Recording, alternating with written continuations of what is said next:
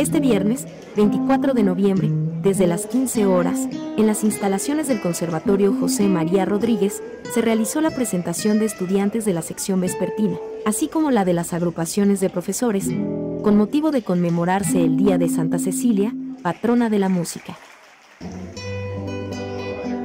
Entre los números se dio la participación de los estudiantes del área de guitarra clásica que dirige el doctor Marcelo Pacheco Barrera.